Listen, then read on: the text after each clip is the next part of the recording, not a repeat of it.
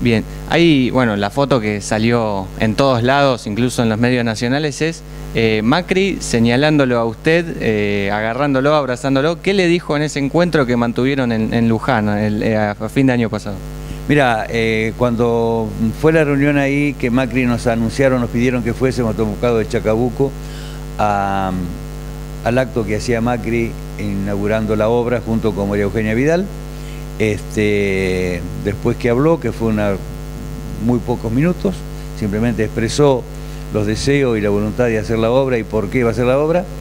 Este, la única persona que ingresó al predio, o sea, la única audiencia que entregó Macri en ese momento, fue a los autoconvocados de Chacabuco. Yo pedí que fuese eh, Ricardo González, me dijo que fuese yo.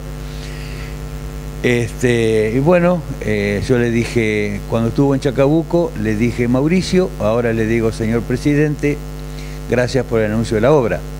Y me puso el dedo en el pecho y me dijo, viste que te cumplí y te hago la, y te hago la ruta. A continuación, María Eugenia Vidal me, me abrazó, me besó y me dijo, Juan Carlos, hemos cumplido le vamos a hacer la ruta. La ruta no es para nosotros. Los autoconvocados a lo mejor somos la cara más visible de todo esto, pero es para, todo el país. Fíjate que en la Argentina hay dos cuestiones que son íconos. La guerra de Malvinas y lo desaparecido. Todos los meses mueren accidentes de tránsito más que en la guerra de Malvinas, incluido el hundimiento general Belgrano. Y cada tres años y siete meses mueren accidentes de tránsito 30.000 personas, que es el equivalente a lo desaparecido eh, con la dictadura.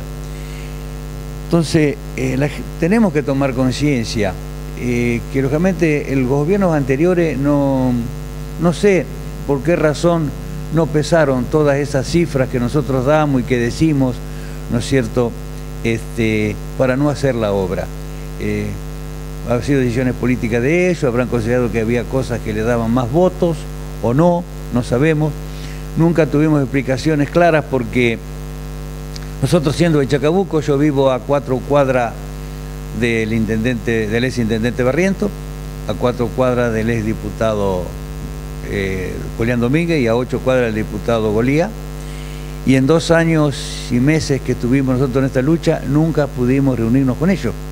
Así que nunca pudimos tener una charla como para decir, miren, eh, estas son las cuestiones, por esto la hacemos, por esto no la hacemos, tenemos intención de hacerla, no tenemos intención de hacerla.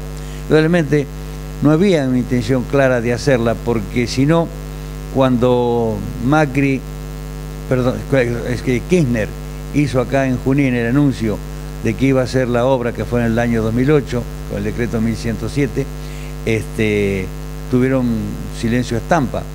Cuando vinimos a Junín, al Consejo Deliberante, y nos, reunió, eh, nos recibió el presidente del Consejo Deliberante, FAI, y después bajó al recinto el intendente de Chacabuco, perdón, de Junín Meoni, en presencia del intendente de Chacabuco, los autoconvocados de Junín, de Chacabuco, concejales de Junín, concejales de Chacabuco, se firmó un acta, la tenemos en nuestro poder, donde tanto el intendente Meoni como el intendente Barriento se comprometían a hablar con los demás intendentes del corredor de la Ruta 7 para hacer un pedido formal que tuviese más peso y más valor ante el las autoridades de vialidad y ante la presidencia para lograr esta obra, cosa que nunca hicieron.